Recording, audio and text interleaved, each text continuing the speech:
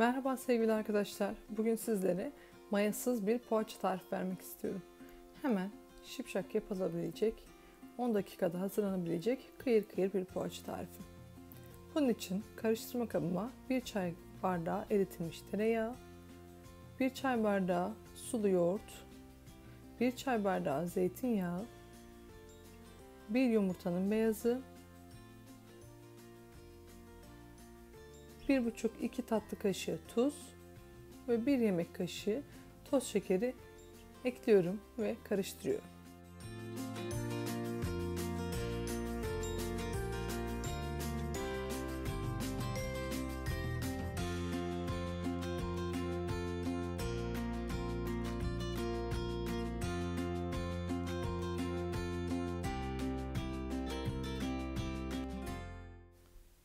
Üzerine unumu yavaş yavaş ilave etmeye başlıyorum.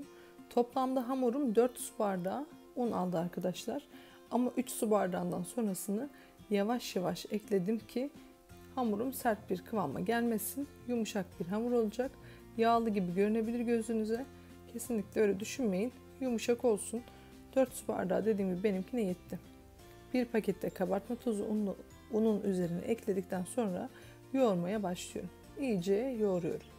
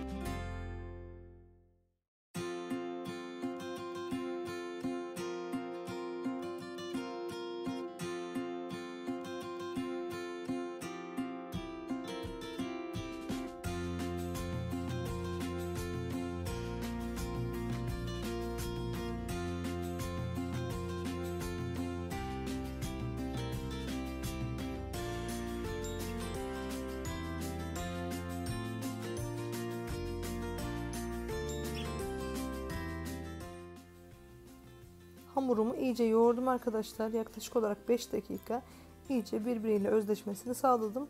İyice yoğurduktan sonra üzerini bir kapla örtüp 5-10 dakika beklettim. Dinlendirdim hamurumu. Hamurun kıvamı gördüğünüz gibi bu şekilde.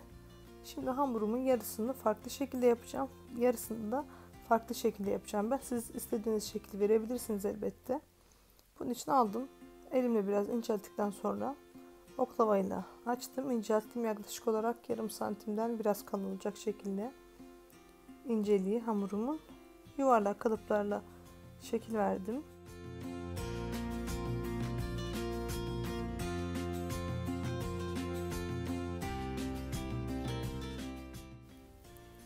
Bu çıkardığım yuvarlakların orta kısmını bir e, şişe kapağı yardımıyla çıkartıyorum birbirlerinin üzerine koyacağım ve peynir koyacağım üzerine.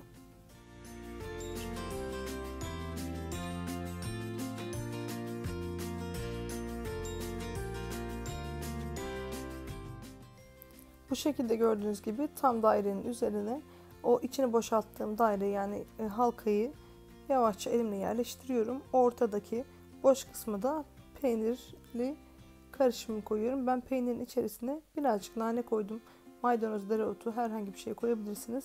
İçinizi peynir yerine diğer e, malzemelerle de yapabilirsiniz elbette ki. Bu sizin tercihiniz. Diğer e, hamurlarıma da aynı şekilde veriyorum.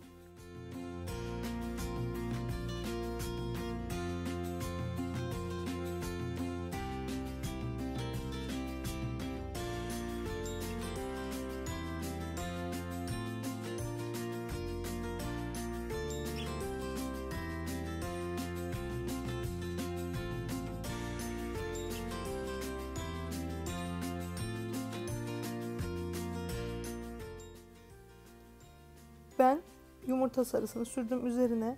Kenarlarına da yumurta sarısını sürüp ay çekirdeğinin içine batırdım. Ay çekirdeğinin içine etrafını sadece buladım. Bu şekilde süslemek istedim.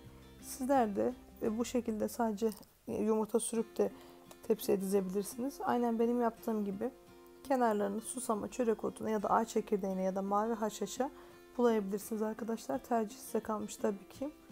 Bu şekilde yapıp onları tepsiye alıyorum. Yağlı kağıt serdiğim tepsiye.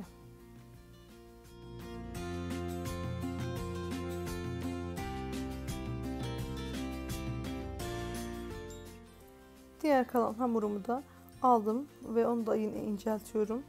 Yarım santim ya da bir santim olacak şekilde inceltmem gerekiyor.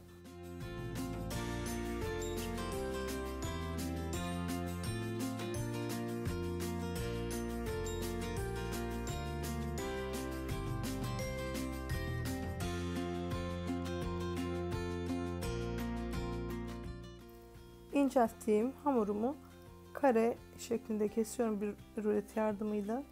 Yaklaşık olarak üçer parmak genişliğinde kareler oluşturdum. Bu karelerin üçgen kısmına peyniri yerleştirip üçgen şekilde katlayacağım.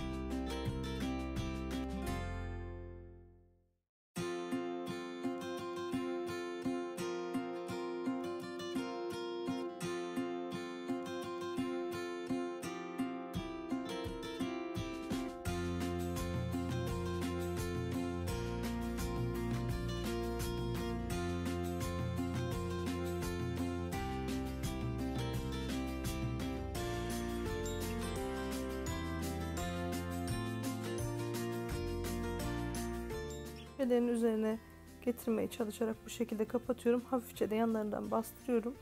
Yanlarına yine yumurta süreceğimden dolayı ve çekirdekte kaplayacağımdan dolayı çok sıkı bastırmasanız da olur arkadaşlar.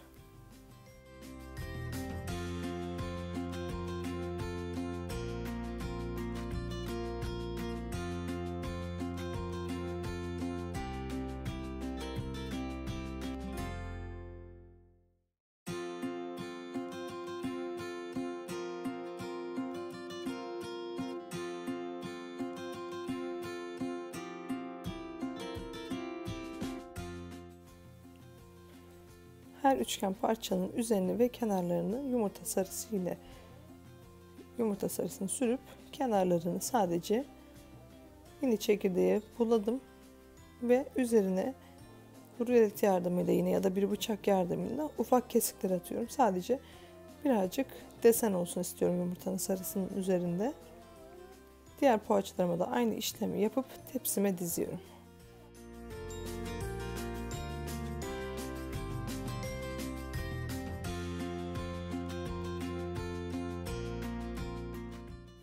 Fırınımı ısıttım.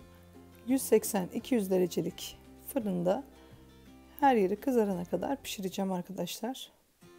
Birazdan pişmiş haliyle karşınıza gelelim.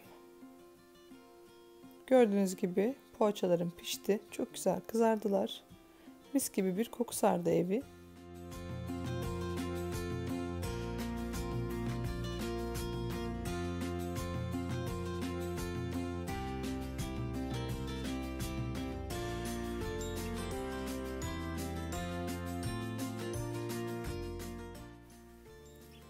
Mayasız bir şekilde hemen yapılabilecek bir poğaça.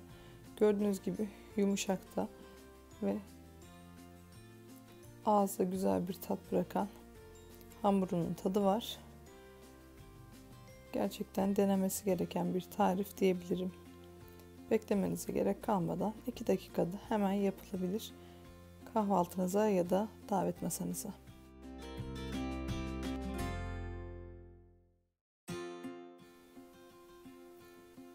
Söylediğim gibi farklı şekillerde de yapabilirsiniz poğaçayı. Beğendiyseniz lütfen yorum ve beğeni yapmayı unutmayın. Kanalıma abone olmayı da unutmayın. Mutlu kalın.